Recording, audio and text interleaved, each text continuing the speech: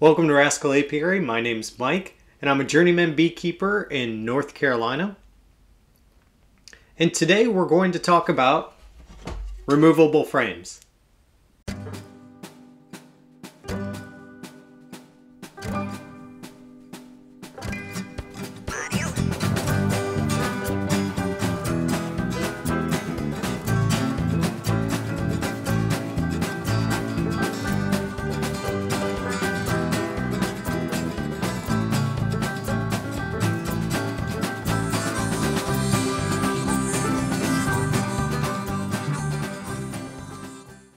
Removable frames typically come in three different sizes. You have your deep, your medium, and your shallow.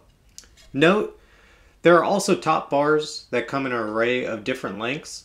Today, we're going to focus on the traditional Langstroth removable frame that we use here in North Carolina.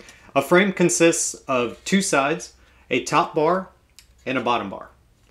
Optionally, you can have different foundations for example, you can have a thin wax foundation, a plastic foundation, and drone comb. These foundations are meant to be a guide for the bees when they're drawing out their comb. You typically want them to build out in the direction that helps you as a beekeeper. Top bar is the longest piece of wood that extends far enough for the edges to rest on the frame rest for, on the hive box. These bars come in many different forms. For example, you have your grooved, or you can have a wedge, or grooved with a thin piece of wood, much like a painter's stir stick. The sidebars come in a Y configuration, a and a straight configuration. The Y configuration is called a Hoffman self-spacing sidebars.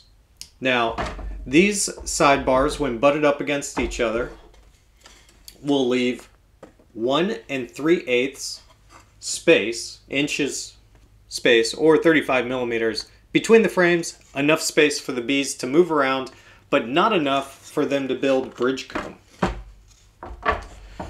The bottom bar typically comes in two different styles. There is a grooved and a split. The grooved is for foundation such as plastic or wax and it just fits right into the grooves and then you put your bottom on.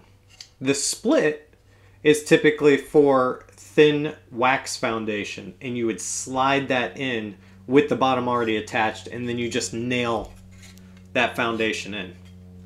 Now, if you're going to go foundationless like we do, we typically will recommend taking Titebond 3 and just fill in all your grooves. That way hive beetles don't get into it. If you don't know what hive beetle is, check out our video 6 hive pests you need to know about. There'll be a link in the description.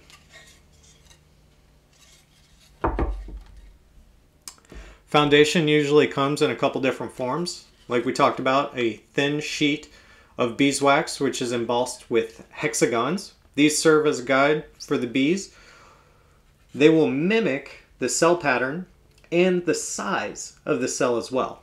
So you can kind of pick and choose what size cells they're going to pull out. When installing your wax foundation, keep in mind that the wax is given structural stability by the wires. There are wires here. And that is why you'll find Hoffman sidebars with holes in them. That's where you put your wire through and you string up your wax foundation. Plastic foundation can also be used. This is a more sturdy style of foundation. The black makes it easier for you to see eggs when the queen lays eggs. And this will ensure that your bees draw out the wax straight. The embossed hexagons can come in different sizes. Typically you'll see them in the worker comb style size or worker brood. This is drone comb. This will it will be embossed with hexagons that are bigger and that will uh, encourage the queen to lay drones. Most beekeepers will use this as part of their integrative pest management. or they'll incorporate it into their honey super, encourage the bees to store more honey while using less wax. All right, guys, thanks for watching the video. Hope you learned something on frames. If you need a tutorial on how to build frames, we do have a video on that, and it's titled Building Beehive Frames. There'll be a link in the description as well. If you need to know more or have questions, hit us up in the comments. And thanks again. Have a good day.